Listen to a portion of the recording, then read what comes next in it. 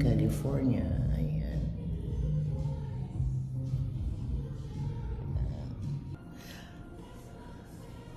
So we have over 1,900 cigars on property. There are 96 different boxes Uh-huh. where this, we get to have those two cigars. Oh.